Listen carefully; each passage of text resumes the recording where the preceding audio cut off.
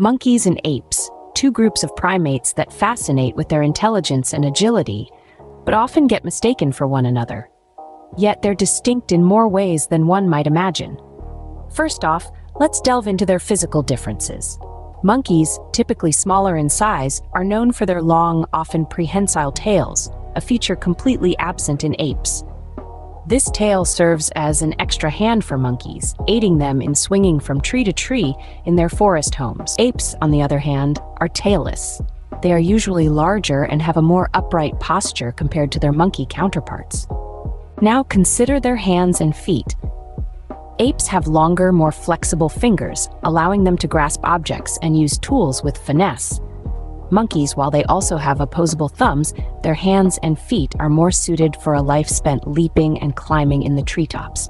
Shifting focus from physical to mental attributes, apes generally show higher cognitive abilities.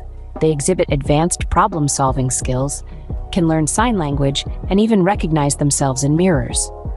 Monkeys, while intelligent, don't usually display these higher cognitive skills.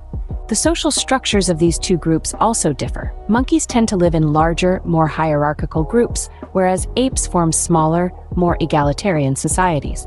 Let's not forget their geographical distribution. Monkeys are found in various parts of the world, from Asia to Africa and South America. Apes, however, are primarily located in Africa and Asia. To sum it up, monkeys and apes, while both fascinating primates, differ in several ways. Monkeys, with their handy tails, smaller size, and defined social structures, are a contrast to the tailless, larger, and more cognitively advanced apes. Their distinct physical attributes, mental capabilities, social structures, and geographical distributions set them apart in the animal kingdom.